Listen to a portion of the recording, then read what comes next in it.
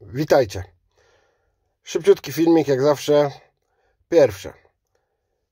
Żurum pokazuje, że ma tak duże ciśnienie na i parcie na szkło, że nie wytrzymał nawet 24 godzin bez nagrywania. Śmieszny koleś jesteś, bo twierdzisz, że kurwa masz dyskopatię, napierdalasz pompki w jakichś tam filmach pod drzwiami. Chłopie, ludzie z dyskopatią nie robią takich rzeczy. Zresztą ty nawet pompek robić nie umiesz. Ale jak mówiłem, ty wszystko spierdolisz, nawet te pompki. Czego się dowiedziałem na YouTubie? Na YouTubie nauczyłem się grypsowania. Dowiedziałem się, że trzeba mieć papier na to, że jest się niekaranym.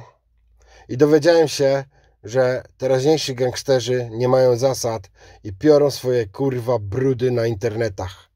Jesteście kurwa śmieszni.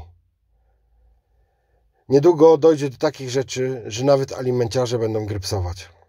No tak, taka jest prawda. Do swoich hejterów. Tak, śmiejecie, że handluję serem, ale lepiej sprzedawać ser niż sprzedawać ludzi. A za pieniądze, które zarobiłem, wreszcie spełniłem swoje marzenia. Kupiłem kamper. Dzisiaj go odbieram, jutro się pakuję, pojutrze wyjeżdżam na długie wakacje. A wy możecie sobie kurwa pisać na tym YouTubie. Wszystkim do, y, życzę tego, aby spełniali swoje marzenia, bo to jest najważniejsze. Do ciebie, żurą, ty stara kurwo. Chuj ci w dupę.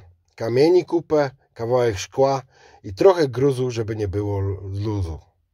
To takie podsumowanie pierwszego sezonu moich nagrań. Trzymajcie się ciepło, wracam po Europie. Pozdrawiam, pa!